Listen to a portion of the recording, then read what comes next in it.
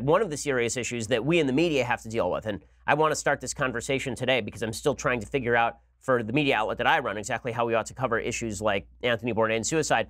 There is something called the Werther effect. Okay, the Werther effect is a very well studied phenomenon. It's essentially copycat suicide. When a person who is very prominent commits suicide, there are a lot of people who begin thinking a lot more about suicide, fixating a lot more on suicide, thinking of it as a glorious out. I remember after Robin Williams' death, the Academy of Motion Picture Arts and Sciences put out uh, a tweet of the genie, right? Because Robin Williams played the genie, saying, You're free now, genie. Okay, that sort of glorification of suicide is awful and actually promotes suicide, obviously. The Werther effect is named after a book called The Sorrows of Young Werther by Goethe. Uh, that book, uh, supposedly, I mean, the, the studies are conflicting, caused suicides all over the continent. There were, there were young men who saw it as such a romantic ideal to commit suicide, they actually started walking around wearing the clothes that Werther is described as wearing in the book. But whether it was true of the Goethe book or not, it has been confirmed over and over and over. In the aftermath, for example, of Marilyn Monroe's suicide, in the months after her death, there were 303 excess suicides, meaning higher than average, in the United States. There have been multiple studies on this sort of stuff. After that, that show by Netflix, 13 Reasons Why, which essentially glorified suicide and said there were excuses for it, that a normal person who didn't suffer from depression or problems could be bullied into suicide. Once that show came out, Google queries about suicide, this is according to The Atlantic, rose by almost 20% in 19 days after the show came out, representing between 900,000 and 1.5 million more searches than usual regarding the subject. 17 out of the top 20 searches were significantly elevated. The biggest increases came with terms related to suicidal thoughts and ideation, like how to kill yourself.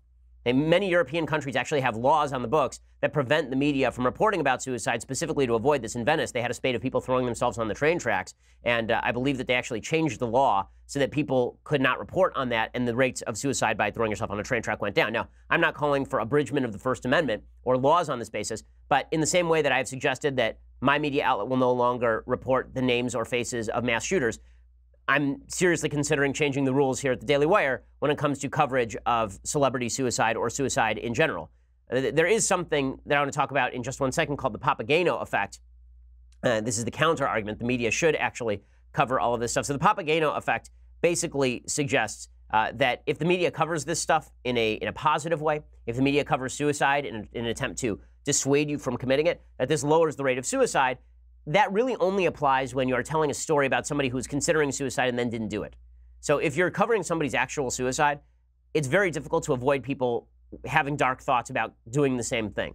Uh, the Papageno effect is named after Mozart's magic flute character because Papageno is a character in the opera who's considering suicide, and then he's talked out of it by essentially three young boys who are who are sprites or spirits, and that effect has not been all that well documented. It's a pretty recent study. I believe in Australia they've done some studies on the Papageno effect. But the idea there is that the way to help make suicide less palatable to people is to show them stories of people who would have committed, committed suicide but didn't do, then did not go ahead and actually do it.